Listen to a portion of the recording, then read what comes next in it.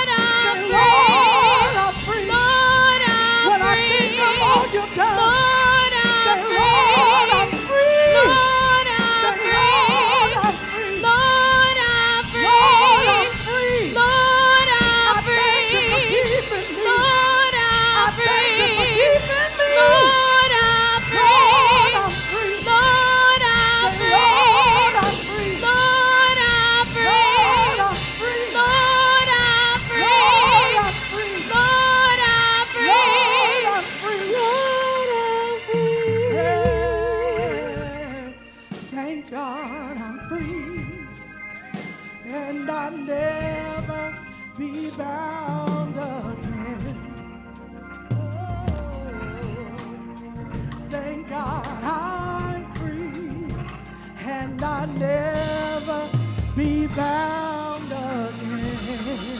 Come on, praise the Lord. Come on, praise the Lord. Hallelujah. Thank God I'm free. Hallelujah. Thank God I'm free. Hallelujah.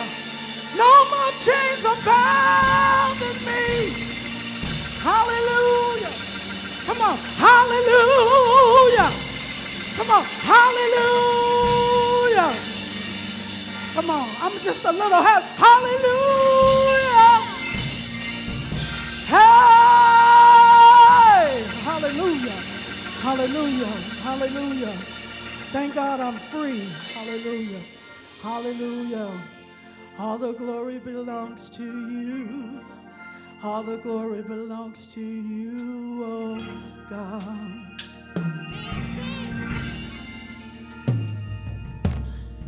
All the glory belongs to you. All the glory belongs to you, oh God. Yeah. Come on. All the glory belongs All the glory belongs to you. to you. All the glory belongs to you. Oh, oh God. Hallelujah. All the glory belongs to you. All the glory belongs to you. To you. All the glory belongs to you. Hallelujah. Ah, And we say hi. And we say hallelujah.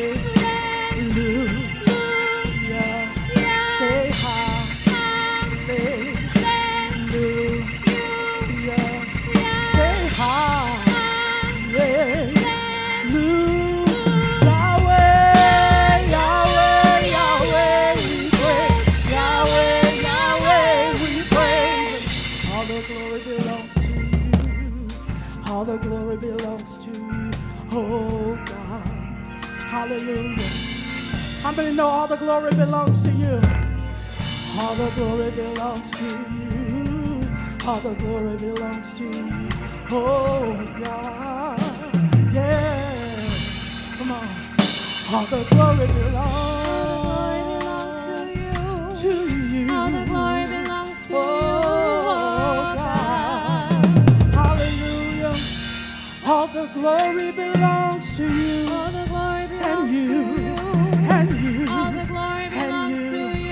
Oh.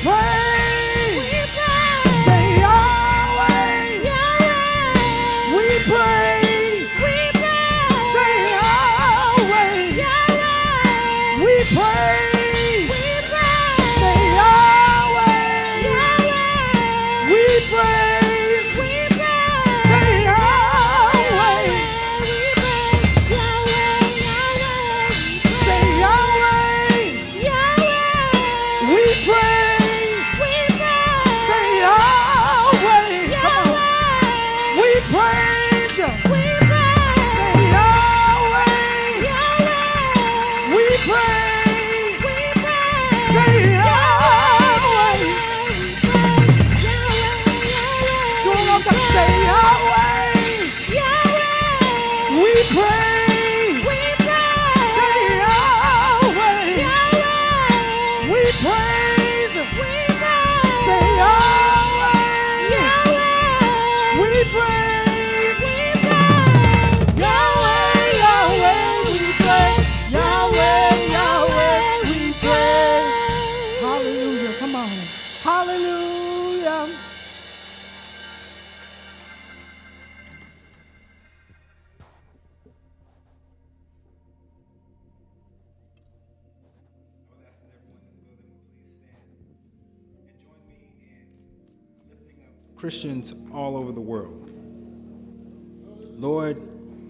Give you all praise. We give you all honor. We give you all glory. We recognize that you are the one true and living God. You are the one who provided your Son to give us eternal life. You are the one who has placed your spirit into each and every one of your people all over this world. Lord, we recognize that it's not just us that you have placed your spirit in, but you have people on every continent. You have people in every part of the world. You have people working with every possible condition. And we pray that you would show yourself to be a provider for all of your people all over the world. In places where they're having trouble getting water to drink, food to eat, shelter to protect them from the elements, we pray that you would prove yourself a provider to your people and that you would use your people to reach out to others who are in need, to reach out to those who do not even know you so that they can come to know you. Lord, we lift up those who are in places hot or cold. We lift up those who are in peace and those who are in peril. Lord, we pray that for those who are dealing with opposition, those who are dealing with those who would seek to harm them or to kill them, that you would show yourself to be a protector. We pray that for those who are facing groups who would try to take what you have blessed them with, that you would show that you are upholding your righteous ones, no matter where they are, no matter how old or young they are, no matter what country they call home. We know that ultimately they call your kingdom home. So we pray that as all of these people who call on your name, who count on your son's work, who count on your spirit, who are studying and reading and learning your word all over this planet, we pray that you would help us to reach out to one another. You have made us one body. So help us to supply what other parts of the body need for this time. Thank you for your blessings. Thank you for your glory.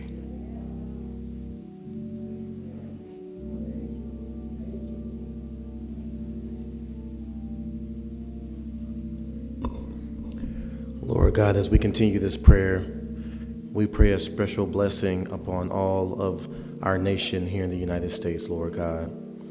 We pray for our leaders, those who are having the responsibility over us, from the president to his cabinet, from the state governors, the local governors, mayors, all of those, Lord God, who have responsibility to make the correct decisions, Lord God. We pray a special blessing over them. We ask, Lord God, that those who believe and those who don't believe, we know that you are the God of all. And we know that you can give them the right direction. You can give them the plans that will bless your people, that will bless this nation, that will bless this state, that will bless our cities, Lord God. And so that's what we're asking you on today. This has been a crazy week for a lot of people. And we just want to say thank you, Lord God. Thank you, God. We want to say thank you, God. There's so many of us who had to boil our water this week. There's so many of us who did not have electricity throughout the week. There's so many of us who did not have running water all week, Lord God. And we just want to say thank you because you protected us during those nights. You protected us when it was cold. You looked over us, Lord God, and we know it was no one but you. It was not of ourselves. It was nothing we had done. It was not because we worked so hard, but it was your protection, Lord God. When we didn't know what was going to happen through the nights with those cold weathers, Lord God, we know that you protected us, Lord God, and we want to say thank you, Lord God. We pray for our first responders. We, we pray for those who have been working throughout the night. There was plumbers, there were electricians who had to work in harsh conditions and had to drive on icy roads, and you protected them, Lord God, when they could have been sliding into a ditch, when they could have slid off the road, Lord God, when we could have slid off the road. You protected us and you allowed us to make it to grocery stores. You allowed us to make it to the gas station, and you provided for us when no one else could, when no one else would, Lord God. And we just want to say thank you for that, Lord God. We thank you for your covering. We thank you for your protection. We thank you for those who, again, who left their homes, those first responders, the police officers, the fire department, the nurses, the teachers who have had to work during this time of uncertainty, who have had to work when, when we didn't have all of the answers, whoever ran Zoom classes, when you didn't know if the students had electricity. And Lord God, you were there, you provided, and we want to say thank you, Lord God. We want to say thank you for your protection. Thank you for being with us. Thank you for leading us. Thank you for guiding us. And we ask that you would continue to cover us as we continue to work through these things. Everything is not over, Lord God. There's still people who don't have, there's still people who are in need. And we ask that you would help us those who have, to be a blessing to others.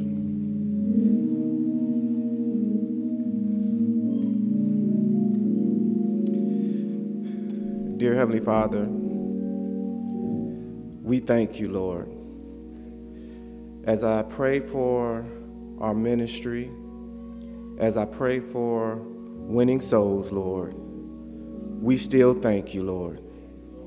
We thank you for your grace, Lord. We thank you for your mercy, Lord. Even though we have been going through, Lord, you have guided us, Lord. You have helped us in a time of struggle, Lord. We thank you. We thank you for keeping our pastor, Lord. We thank you for touching his body and healing him, Lord, as he go through the things that he go through, Lord. We thank you, Lord. Lord, we thank you for our church mother, Lord. We thank you for protecting her, Lord. Lord, we thank you for all the missionaries and the ministers and the elders, Lord. We thank you, Lord. Lord, we thank you for our state supervisor, Lord. We thank you for our church family, Lord. Lord, we thank you for our church ministry, Lord. Lord, even through this pandemic time, Lord, even through this snowy time, Lord, this wintry time, Lord, our ministry is still pushing forward, Lord. Lord, we are still lifting you up and magnifying your name, Lord. Lord, we thank you for this food pantry that we just started during this pandemic, Lord. We thank you, Lord, because you have given us the power and the will to keep fighting on, to keep pushing on, Lord, with your strength, Lord. We thank you, Lord.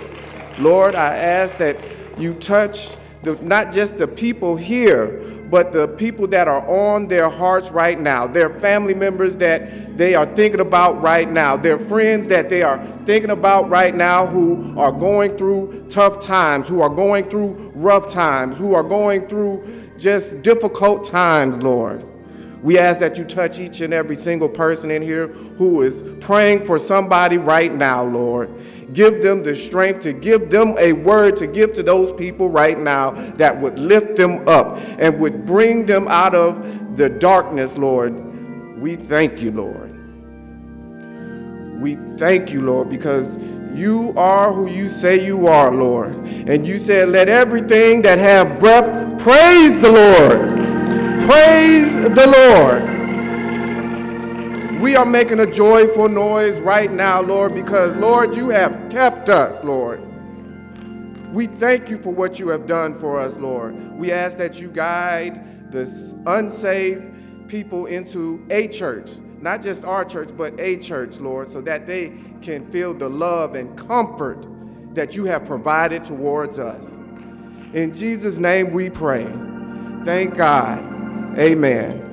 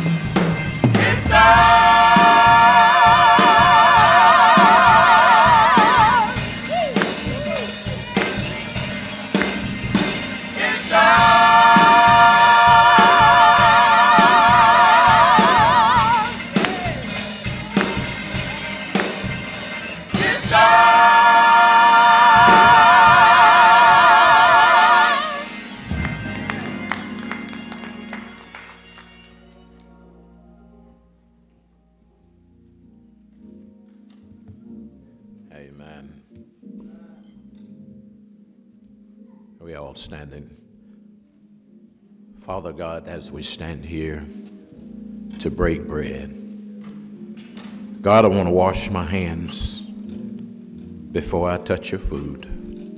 Asking God that you forgive me for anything that I've done, said, thought wrong out of your will. Asking you, God, to have mercy on us today. For God, we need you. We need your strength, your power. We're nothing without you. As we get ready to break bread, God, we ask you to fertile the ground that it may receive the seed. We're asking you now to bless us this day. Let your words be heard, not my words. Hide me, God, behind the cross. You speak to your people. In Jesus' name, amen. Amen. You may be seated. Amen. First, giving honor to God today, who is the head of my life. Thanking God for another day that He has blessed and allowed me to see. You. Not just me, but us, because we are here. Amen. Give honor to Bishop Iger Hart in his absence, thanking him for allowing me to stand in his stead. Give honor to our state supervisor, Mother Yolanda Ford. Amen. Give honor to our church mother in her absence. She's not here. But then I, I have to recognize this last lady, uh, my wife. Amen. Not just for a couple of days, but for 44 years. I tell her sometime, I said, I'll be riding down the road, girl, and I said, I just have to thank God for giving you to me. I said, I have to tell him, Lord, thank you. You knew exactly what I needed. Amen. If you go with me real quickly to the word, going to Isaiah 53. Starting around the third verse through the fifth, skipping the sixth, going through the seventh and the eighth, then the twelfth verse. And it reads, He said, Who has believed our report? And to whom is the arm of the Lord revealed? For he shall grow up before him as a tender plant, and, out, and, and as a root out of the dry ground. He has no form of comeliness. And when we shall see him, there is no beauty that we should desire him. He is despised and rejected of men, and a man of sorrow and acquainted with grief. And we have hid as we as it were our faces from him. He was despised and esteemed, and we esteemed him not. Surely he has bore our griefs and carried our sorrow. But yet we did not esteem him stricken, smitten of God, and afflicted. But he was wounded for our transgressions, he was bruised for our iniquities. The chastisement of our peace was upon him, and with his stripes we are healed. He was opposed and he was afflicted, yet he opened not his mouth. He was brought as a lamb to the slaughter, as a sheep before the shears is dumb. So he opened not his mouth. And he was taken to prison and from judgment. And who shall declare his generations? For he was cut off out of the land of the living. For the transgression of my people he was stricken. Therefore will I divide him a portion with the great, and he shall divide the spoil with the strong. Before he has poured out his soul unto death, and he was numbered with the transgressors, and he bore the sins of many and made intercessions for the transgressor. Amen. Just for a few minutes, I like to use the thought He was. It's just simple. He was. Here, uh, Isaiah is a prophet, not just a, a prophet, but a major prophet for God. We have minor prophets and major prophets, but the book tells us that Isaiah was a major prophet. Isaiah start this chapter out by telling us today that, that, that as he told the people in his time about the coming Messiah. In Isaiah asked a question, he said, Who has believed our report? Isaiah foretold the world in this chapter about the rejection of the Messiah, that many would not believe our report. As we preach and, and spread the gospel, he letting us know that, yeah, there you're going to be preaching, you'll be giving the gospel, but a lot of people is not going to believe the report. In the same verse, Isaiah asks another question. And to whom is the arm of the Lord revealed? In the context of the Messiah's suffering and agony, this line seems to seems out of place. The arm of the Lord is the picture of his strength, power, and might. Yet we will see the Messiah weaken and, and, and in suffering, but the strength and power and might of God will be expressed in the midst of this suffering. He has no form or commonness, no beauty that we should desire him. Prophetically, Isaiah is, is giving a more com- compelling description of Jesus than any other gospel in the Bible. Jesus was not a man of remarkable beauty, as Isaiah describes him, or physical attractive, attractiveness. This doesn't mean that Jesus, Jesus was ugly, but it does mean that he did not have the average of good look, advantages of good looks. This means that when we try, I'm fixing to mess up now. This means that when we try to attract people to Jesus through form of comeliness or beauty, let me say it again.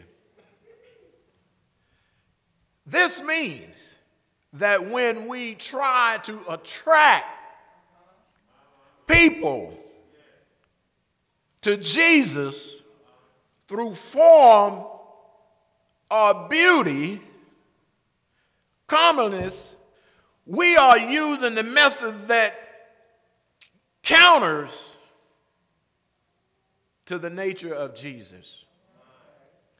These days, it appears that we must dress up the gospel, make it attractive. We have to use methods or, or, or techniques. We must be smart, we well pres- uh, presented, streamlined. There must be something about the presentation of the gospel that will appeal to people. Well, I come to tell you, when we do those things, we are diluting the gospel. We are sugarcoating the gospel. I read in the Bible where Jesus said, If I be lifted up, I'll draw all men. Other words, he's saying, You don't have to do all of these things. You don't have to come up with all the special presentation. Just preach the gospel. I wonder if we stop to think that in our efforts to make the gospel message attractive, we are drawing a curtain across the face of Jesus in his humiliation. The only one that can make him attractive is the Holy Spirit. God Himself, the Word of God, is what's going to make Jesus attractive. The Word of God is what's going to draw man to Jesus. He said, Loving kindness have I drawn you. It's going to take loving kindness to draw the next person. Isaiah prophesies that Jesus, the coming Messiah, Jesus, the coming Savior, Jesus, the one that would carry our sins, would be rejected by mankind. That he came to save. The very people he came to save, the very people that he presented himself to, rejected him. Well, Isaiah is telling us here that he said these things long before Jesus came on the scene. He would be rejected by his own people. Jesus, the doctor that God the Father will send from heaven with the antidote that will save man from a burning hell. God the Father is sending the antidote, but man will reject the antidote. But if we just preach the word and give the word of God, the antidote will work. We don't have to dilute it. We don't have to dress it up. We don't have to make it look good. We don't have to make it sound good. Just give the word. I remember the old saints when they would get up and they see you going in the wrong direction, they say, if you don't stop, you're going to hell. You don't stop lying, you're going to hell. You don't stop drinking, you're going to hell. Well, that was straight and to the point. Well, we're in this day and time now, when you tell people that, now you hurt the feeling. So now we dressing it up, trying to figure out how to ease over to, to Brother McIntyre and say, Brother McIntyre, you got to stop. Well, what you mean I got to stop? Come straight to the point. He might not like it. The Bible said the word is like a two edged sword. It cuts right, it cuts left. You save, it's going to cut you because it's going to find you. The word is going to find you. I don't care where you are. The reason for his suffering would be misunderstood. Most would think that Jesus suffered because of some terrible crime that he committed. Just because you are going through something doesn't mean that you've done something wrong. God said he rained on the just just as well as the unjust. You're going to have some problems just because you got saved and filled with the Holy Ghost didn't stop Satan from knocking on your door. And we must remember Satan cannot knock on your door unless God gives him permission. If you don't believe me, ask Job. When the sons of God appeared before God, they said, Satan also appeared. God didn't ask the sons where they was going, but he asked Satan, said, Where are you going? He said, I'm walking up and down, to and fro, seeking. I'm looking for somebody. I can't find nobody. Guess what? God helped him out. So when something happened to you, don't fall out. Just start talking to God. Say, God, you allowed it. Whatever you allow, I'm going to accept because I know that Satan cannot touch me unless you allow it. Nothing could be further from the truth. His suffering, vicarious and redemptive, only through the suffering could all the straying sheep could be recovered. Only through Jesus suffering when he's coming, as he's Isaiah saying he's coming, and as he coming, he's going to suffer, but he has to suffer in order to save the sheep. If he had not suffered, where would we be today?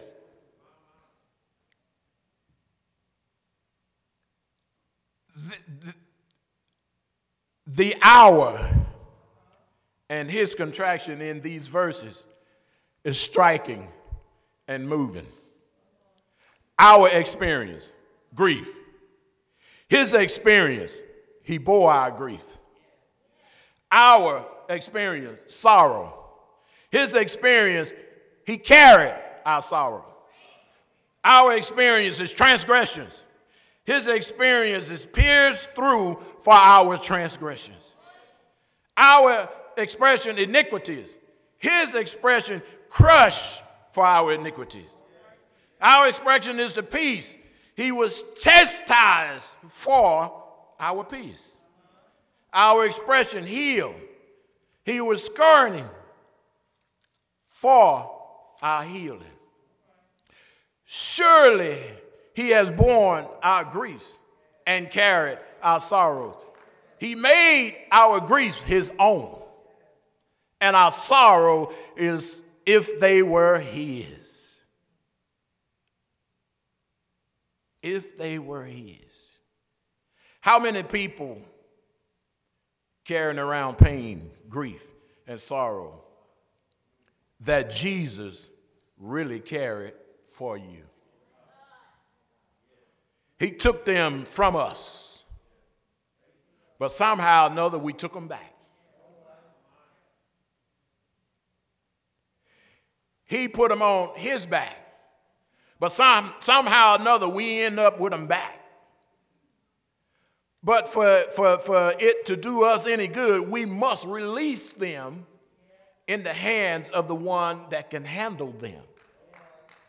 A lot of times people commit suicide. Why? Because they cannot handle what they're dealing with. And by his stripes, we are healed. Here, the prophet sees through the centuries to know that the Messiah would be beaten with many stripes. More so, the prophet announced that the provision for healing is found in the suffering of Jesus. By the, his stripes, we are healed. Matthew 8, 16 through 17, it says, When the evening was come, they brought unto him many that were sick with devils and he cast out spirits with his word and healed all that was sick. That it might be fulfilled which was spoken by Isaiah the prophet, saying, Himself took our infirmities and bare our sickness.